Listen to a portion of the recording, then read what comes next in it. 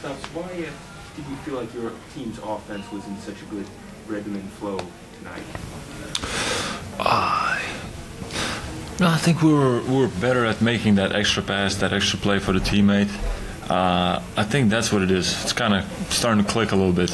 Uh, we're looking at some at the tape what we're not doing and what we are doing right, and we're re- reinforcing the things that we're doing right. And uh, yeah, and I think that ball movement, that that little extra for your teammate, it's it's paying off for us. And um, of course, not every game is going to be great rhythm like tonight, but but tonight things clicked, and, and we're happy with that we we got the win against one of the best teams in the league.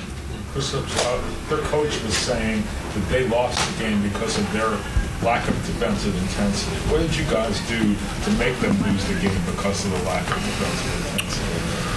Uh, I mean, he's probably right. You know, those guys, their record is, is, is this, then then they probably played with more energy some other games. I don't know, but uh, I think you know most of the guys that were out there felt pretty comfortable, got in a great rhythm. Corey was perfect from the field, so um, Kuz had a great game. Deni was making the right reads, making the right plays. So everybody was comfortable, and and uh, and of course, you know, some of it is it's uh, it's us just playing the right way and, and, and having good rhythm. But you know, we, we want to focus on, on what we're doing, and, and tonight was was a step forward for us.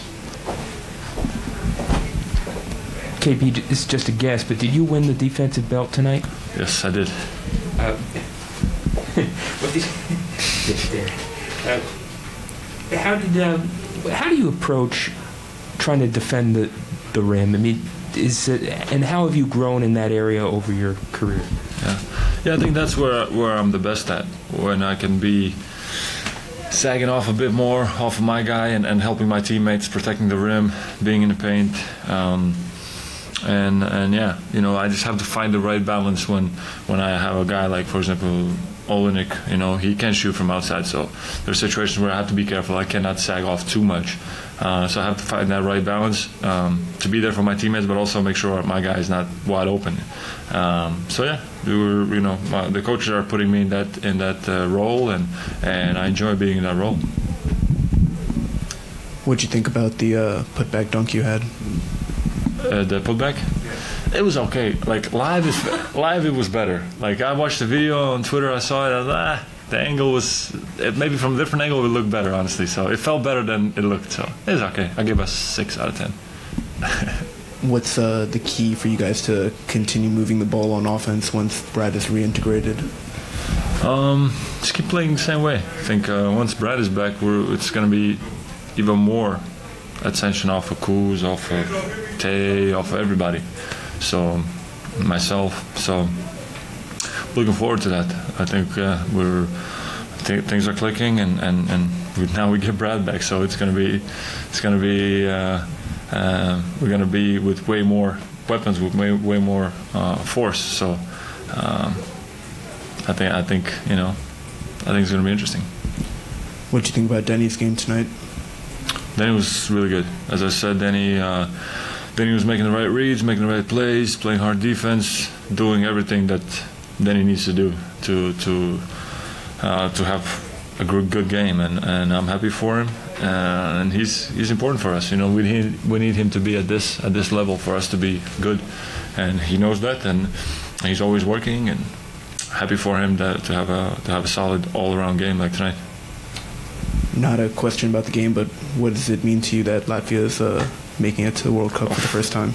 So happy, man! Oh man, it's the first time in history, you know. So uh, the work that we did in the summer, uh, you know, we got those two important wins. Now another window, and we pretty much needed one win to be 99% in, and things worked out for us. Uh, I don't know who had to lose, Turkey or somebody had to lose or win whatever. All I know is we're in, and uh, and yeah, we're gonna be going to uh, to Asia next next summer, and, and believe me, I'm I'm excited about that. How important is it for the team when Corey is able to hit threes like he was able to do tonight? Oh yeah, he, he's he's one of the best shooters on our team, and when he gets going, when he has that rhythm and, and that shot locked in, he's. I mean, they, they have to choose, you know. If, if and what what I love about him is how good of a cutter he is. You know, he's making those cuts. He's he's as I said in the post game interview the on the court he's like um, I don't know it's his second or third year in the league? But he's playing like a 10 year vet in a lot of those situations. Like he's making the right reads he's making hard cuts like he's he's doing all the right things like the small things the important things or maybe not the uh, visible things really well you know? And and that's that's helping the whole team. But that, those are things you don't see that he does and and uh, yeah, he's you know as, as he gets you know more more playing time and more um, and more opportunities, I think the, the more he will show. And, and tonight was an example of what he's capable of. KP, sorry if someone asked this already, but with these three past wins, do they feel like individual wins and it's separate three separate games, or is it feeling like you guys are kind of building off of good habits now at all? I can speak for myself. For me, it's day by day. You know, tomorrow's another day. We got a tough team, Memphis, um, and and and we got to go day by day. We're, we're, we're you know, of course we want to take the momentum that we're you know playing with high confidence. Everybody's feeling good into the next game.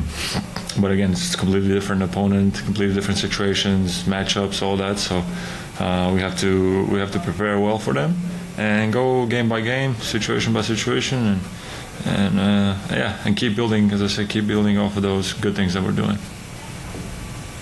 Cool. I can go home watch UFC now. There's a lot of my guys fighting tonight. Oh, Khamzat Chimaev, he's not fighting fighting tonight. No. oh yeah, oh yeah. The whole the whole card is insane. I can't wait.